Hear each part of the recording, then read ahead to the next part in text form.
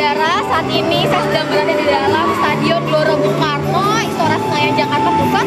Saat ini sedang berlangsungnya acara kampanye terbuka oleh Partai Gerindra yang dimeriahkan oleh lagu-lagu dan artis-artis dangdut yang uh, didatangkan untuk menghibur para simpatisan-simpatisan yang datang di dalam Gelora Bung Karno ini untuk mendukung uh, Gerindra dengan juru kampanye yaitu Prabowo Subianto.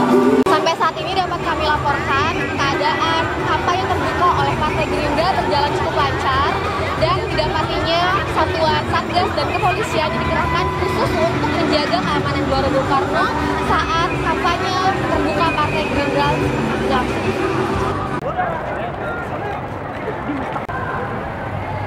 Gue diusir mas, malu jalan gitu tau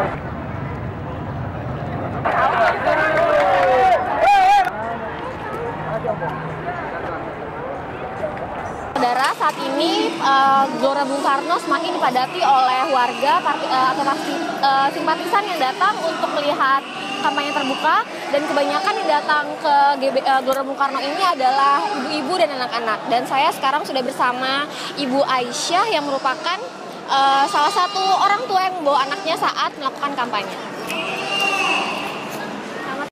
Bu Asia, Uh, tinggalnya di mana? di Taman Mini, Uh, itu Jakarta mana ya Bu? Jakarta Timur.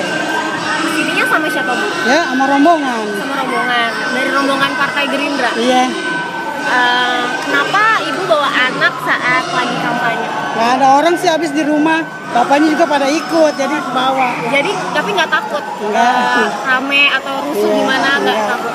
Nah eh, kan eh, ada ketentuan dari KPU kalau membawa anak saat kampanye itu tidak boleh. Ibu merasa melanggar nggak atau gimana gitu? Habis kata saya bisa nggak bawa anak, bawa aja deh. Orang anak nggak nggak apa-apa kok katanya. Lain Dari- udah pada bawa gitu. Dari pihak partai tidak melarang sama Nggak. sekali. Tapi merasa sampai saat ini merasa aman-aman aja. aja, alhamdulillah ya.